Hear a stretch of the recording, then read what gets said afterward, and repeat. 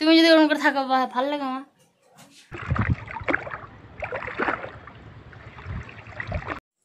Hello friends good evening আর আশা করছি সবাই ভীষণ ভালো আছে সুস্থ আছেন। আবার একটা ভিডিওতে অনেক অনেক আন্তরিক স্বাগতম। আজকে হচ্ছে রবিবার, আর আমি বলেছিলাম যে বিকালে বাড়িতে যাব আগের ভিডিওতে, কিন্তু আমার আর যেতে ইচ্ছে করল না, মাও বলল যে যেতে হবে না। তো ওই জন্য আর গেলাম না।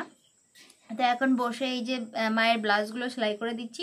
আসলে মা আমাদের জন্যই অপেক্ষা করে থাকে যে আমরা কখন আসব। মায়ের ব্লাউজগুলো সেলাই করে নেবে। এরকম হাতে লম্বা ব্লাউজ আমার মা একদম পরতে চায় না, এই যে এরকম হাতে লম্বা ব্লাউজ। আমি সব আগে দিয়েছিলাম, তো একদম পরতে চায় না। মা বলে ভীষণ গরম লাগে, আর এরকম শর্ট হাতা করছি এরকম একদম কেটে দিচ্ছি, দিয়ে এরকম শর্ট হাতা করছি। না আয়। এখন কিন্তু সময় হচ্ছে ছটা সাতান্ন। তো যাই হোক মার চাবি দেওয়া হয়ে গেছে ঘরে। আর এই যে বোন আসলো।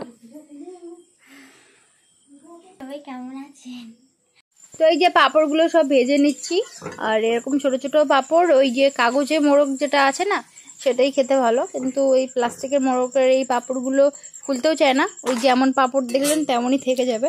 আর খেতেও খুব একটা টেস্ট করে না। আমি আসলে মায়ের সবসময় চিন্তা হয় যে কি দিতে পারব আর কি।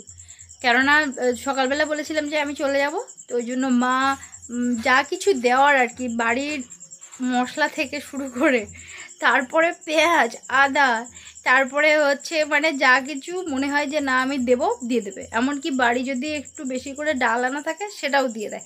মানে এরকম করে এই নিয়ে একটু ঝামেলাও হয়ে যায় মায়ের সাথে, আমার সাথে। আমি বলি কি যে সব একদম দিতে হবে না, আর আমি নিয়ে যাব না। আর এসব যদি দাও, তাহলে আমি আসব না। এইসব মানে এইসব নিয়েই ঝামেলা হয়, বাবা বলে, নে না নিলে আমার ভালো লাগবে। মানে এই সব করতে থাকে। সারা সন্ধ্যেবেলা বকছে, এগুলো কেন নিয়ে যাবি না? এগুলো আমি দিয়েছি তোকে। কুল শুকনো করে রেখেছে। তারপরে আরও নানান রকম জিনিসপত্র খুঁটিনাটি যেগুলো মানে দিলে আর কি শান্তি হয় সেগুলো সব ব্যাগের মধ্যে আলাদা করে গুছিয়ে রেখেছে দিয়ে সমানে বকছে নিয়ে কেন যাবি না?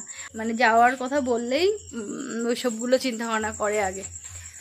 তো এখন পাঁপড় ভেজে দিয়েছি মা একটু খাচ্ছে আর তারপরে মা একটু পেঁয়াজ টেঁয়াজ কুচাতে লাগুক পেঁয়াজি করব তার মধ্যেখানে আমি ডিমের তরকারিটা একটু রান্না করে নিই। আর বাপের বাড়ি এসে বেশ মজাই দিন কাটছিল। কালকের থেকে আবার যেমন কাজ, যেমন রুটিন, তেমনই চলবে। সেই যেটা হয় আর কি প্রতিদিন, সেই রুটিন আবার চলে আসবে। বছর সত্যি বলতে আমের দাম একদম কমেনি। এখানে ষাট টাকা, সত্তর টাকা, আশি টাকা আম, ভালো আম নিতে গেলে তো আশি টাকা অবশ্যই। আমের দাম একদমই কমেনি, কেন জানি না, এরকম দাম কোনো বছর হয় না। কম করে তিরিশ টাকা, পঁয়ত্রিশ টাকা আম হয়, তাই গ্রামের মানুষ হাঁপায়। যে বাবা, এত টাকা দাম, এত টাকা দাম, আর এবছর তো তিরিশ টাকা তো দূরের কথা, পঞ্চাশ টাকার নিচে আম নামেই নি।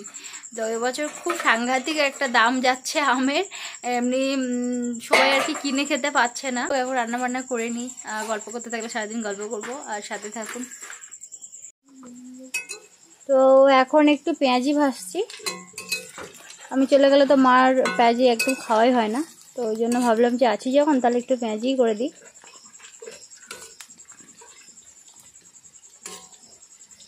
ফ্রেন্ডস গুড মর্নিং এখন সময় হচ্ছে সাতটা এগারো। আজকে হচ্ছে জুনের তেরো তারিখ।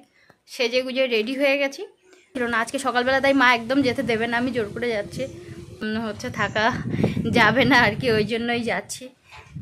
মা সকাল থেকে বলছে যে আমি আরও অনেক সকাল সকাল উঠেছি, তোকে ডাকিনি। চুপচাপ উঠে গেছি, জানি তুই ঘুমিয়ে আছিস, ঘুমিয়ে থাক, যাতে না যেতে পারিস। আর বলছে বিকালবেলা যাস। মা এমনি কেউ আসলে যেতে দিতে চায় না। মার একদম মন খারাপ। ওই যে মা বসে আছে। একদিকে আমাকে দুটো আম কেটে দিল, আম খেলাম। বলছে, ভাত খেয়ে নে, আমি খেলাম না, এত সকালবেলা এমনিতেই খাওয়ার অভ্যাস নেই। তো বাবার সঙ্গে যাব, বাবা ওদিকে জামা টামা পরে নিয়েছে। বাবা আমাদের বাড়ি ওখানে যাবে না, বেশ কিছুটা দূর আমাকে একটু এগিয়ে দিয়ে আসবে। আর সকাল থেকে প্রচণ্ড গরম, একটু মেঘলা মেঘলা করেছিল সকালবেলা থেকে, কিন্তু এখন প্রচণ্ড গরম। তো এখন এই যে বেরিয়েছি, আর আমার হাজব্যান্ড যাওয়ার সময় ব্যাগ নিয়ে যায়নি, ওই যে ব্যাগ বড় ব্যাগ আমাকে টেনে টেনে নিয়ে যেতে হবে, এখন কি করি ঠিক নেই। আর এই যে মার মন খারাপ। মা দেখেছেন কেমন করে আছে? তুমি যদি ওরকম করে থাকো ভালো লাগে আমার? হ্যাঁ ভালো লাগে তুমি বলো? তুমি যদি ওরকম করে থাকো, ভালো লাগে? মায়ের আবার এই নাকে আবার এইসব জায়গায় ফোঁড়া উঠছে এই যেরকম। এক সময় ভীষণ ফোঁড়া হয়েছিল, তখন চোখের ভেতরে বা চোখে টোকে হয়েছিল, চোখের একদম এইরকম জায়গায় হয়েছিল, উপরে হয়েছিল, একদম প্রচণ্ড খারাপ ছিল অবস্থা। এখন আবার করে এই দেখুন হচ্ছে, দেখুন। মা কাঁদছে।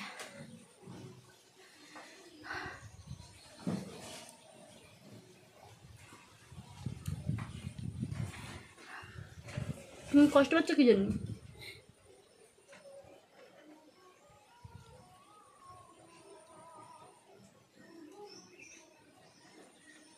কি হয়েছে বলো?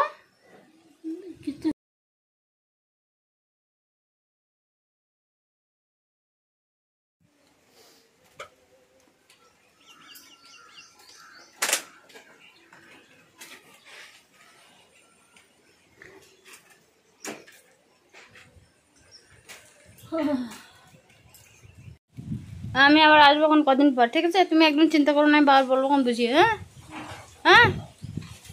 হ্যাঁ? চিন্তা করো না তো হ্যাঁ? ফাঁকা ছেড়ে আসতে একদম মন চায় না। কিন্তু আমাদেরও কিছু করার থাকে না।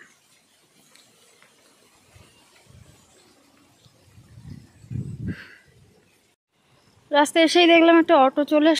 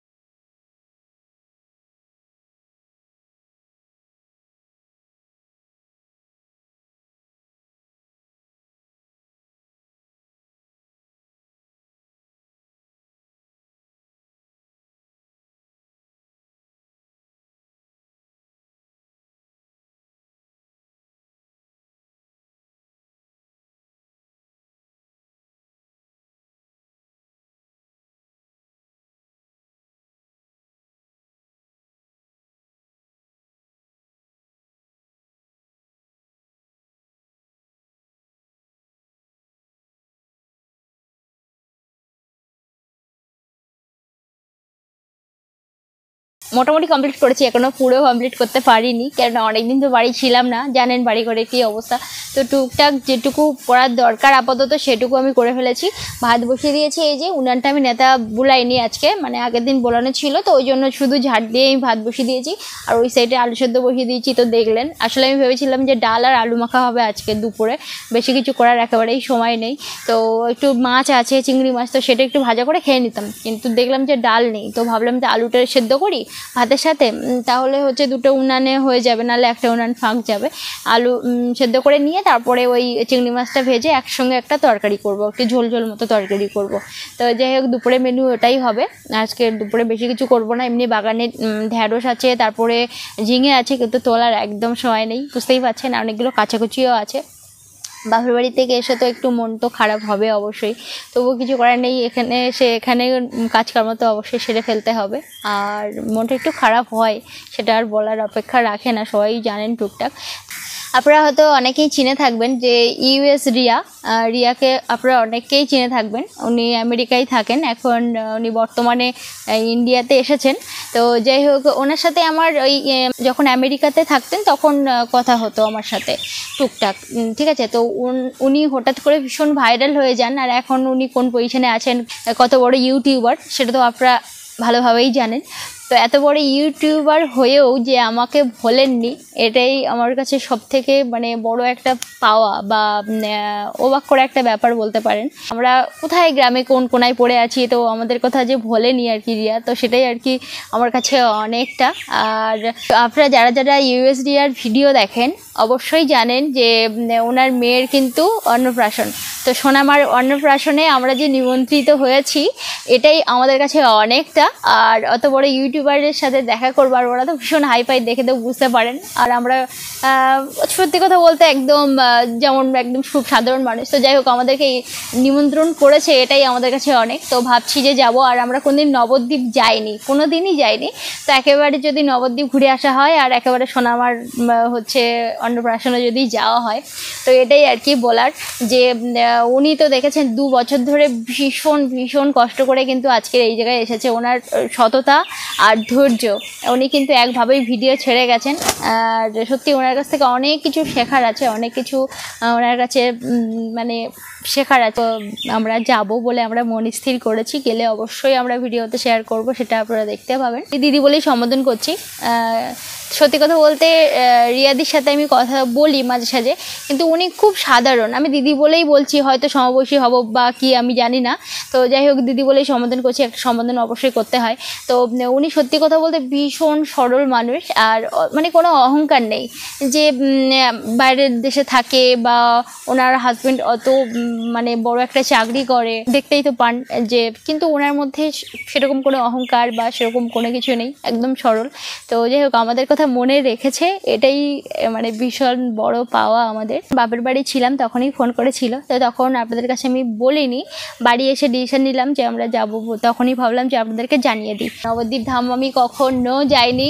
আর ভাবিওনি যে এরকম তাড়াতাড়ি আমি যেতে পারব, আর মানে একটু ধাম দর্শন করতে পারব, সাথে ওদের সাথেও মিট করতে পারব, আমি সত্যিই ভাবিনি। আর এরকমভাবে যে নিমন্ত্রণ হব আমি, সেটাও ভাবতে পারিনি।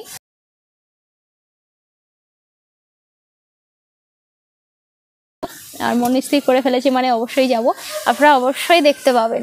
তো এটাই বলার ছিল আমার। আর রান্নাবান্না এখন করে নিই কাজ ব্যস্ত এখন প্রচুর আছে। গ্রামের মানুষের বুঝতেই পারেন যে কাজকর্ম কেমন। মাছগুলো এখন কেটে নিই। ওদিকে ভাত হয়ে গেছে, উপর করে দিয়েছি। আর ওদিকে আলুটাও সেদ্ধ হয়ে গেছে। তো উনানেই করে ফেলব আজকে। তো এখন এই যে মাছগুলো কেটে নিই এই একটাই তেলাপিয়া মাছ হয়েছে। আর এগুলো সব কিন্তু হরিণা চিংড়ি। বাগদা আজকের একদম পড়েনি। ভাত হয়ে গেছে, উপর করে দিয়েছি। আর ওদিকে আলুটাও সেদ্ধ হয়ে গেছে। ওই আলু সেদ্ধর সাথেই এই মাছ দিয়ে রান্না করব। আমি আজকের সারাদিনের ভিডিও আপলোড করছি না। এখা- এখানেই এই ভিডিওটা শেষ করব। কেননা এক্ষুনি আমার ভিডিওটা এডিট করেই আজকের আর কি আইটের মধ্যে আপলোড করতে হবে ওই জন্য। তো আপনারা সবাই নিমন্ত্রিত হয়েছেন অবশ্যই অন্নপ্রাশনে যাওয়ার জন্য। তো যাই হোক, আমি যাব ওই জন্যই কিন্তু আপনাদের আপনাদের কাছে শেয়ার করলাম। আর দাদা দিদি ভীষণই ভালো ওনাদের সাথে কথা বললে সত্যি ভীষণ ভালো লাগে। তো যাই হোক, ভিডিওটা শেষ করলাম এখানে। আবার দেখা হচ্ছে পরের ভিডিওতে। ভীষণ ভীষণ ভালো থাকুন। আর আমার এই গ্রামীণ সিম্পল ভিলেজ লাইফস্টাইল যদি আপনাদের ভালো লেগে থাকে, তাহলে পরের ভিডিও দেখার জন্য অবশ্যই কিন্তু নতুন বন্ধুরা সাবস্ক্রাইব করবেন। আপনাদের ভালো লাগা, খারাপ লাগা সব কিছু কিন্তু কমেন্ট করে অবশ্যই জানাবেন। ভীষণ ভালো থাকুন এই শুভকামনা নিয়ে পরে ভিডিওতে আবার দেখা হচ্ছে আপনাদের সাথে।